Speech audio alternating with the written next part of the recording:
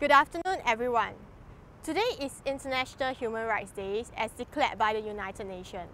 However, do you know how many human rights treaty has the Singapore government actually signed and ratified? The fact is, Singapore government does not sign and ratify any human rights treaty unless all other ASEAN countries have already signed and ratified them. Why is it that Singapore claiming to be the leader cannot be the leader in signing and rectifying and respecting fundamental human rights. First, we do not have our fundamental rights to freedom of expression. For example, our rights to freedom of speech. On Facebook, you can make a Facebook posting that is only to your friend, but the Singapore government can claim that this particular posting is actually not private. And when they claim that it's not private, it means that it is public and they can use it against you. We do not have our fundamental rights to freedom of assembly. Our rights to freedom of assembly is only limited to Speaker's Corner that is inside Hong Lim Park. That means if you protest at Hong Lim Park but not inside Speaker's Corner, you can be charged for that.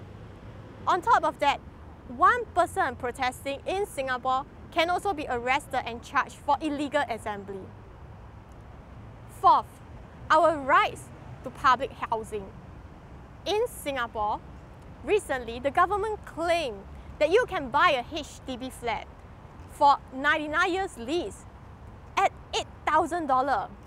Such propaganda is being published on printed media, online and everywhere. Do you really think that you can buy a HDB at the price of $8,000? How many of such HDB BTO has the government been selling for $8,000? Is it only one unit? And they claim that the starting price is from 8,000, but the second unit onward is 200,000. Is this being transparent? Are they accountable to the public? What exactly is the cost of building a HDB? Fifth, our rights to public health care. In Singapore, the government has a forced insurance scheme.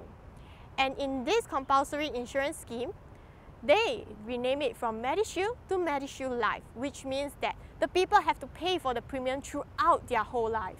And this premium actually doubled after they rename it, and the premium increased over the years. Can you imagine when you are old and you have to pay for the premium that's about $1,000 every month? Is this reasonable? The government did not disclose how many people have they arrested and jailed because they couldn't afford to pay the premium. Of course, to many average and above average Singaporeans out there, they will say that, yes, you can use CPF to pay for the premium. But what about the rest? As a country, shouldn't we be growing together? We have the highest paid prime minister in the world. They fight for their own million dollar salary, saying that if you do not pay them millions, they will become corrupted. But do they fight for your salary? Do you have minimum wage? No, they have minimum a million dollars. Do you have independent labor unions? No.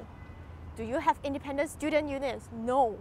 There was a time we used to have independent labor union and independent student unions.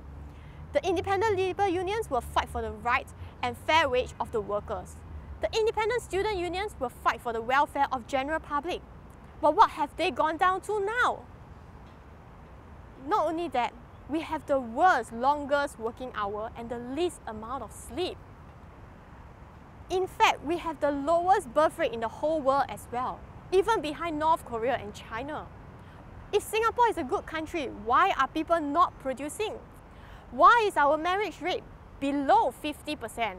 If houses are cheap and houses are reasonable and houses are affordable to the public, why don't they buy a house and set up their own family? Because the cost of living in Singapore has been the highest for years. Is this right? Should we continue to let such a government rule us when the people are not growing together as a whole? On this day, on our Human Rights Day, let's think about it. How are we going to fight for our fundamental human rights? And how are we going to prevent, stop the government from violating our rights? Thank you.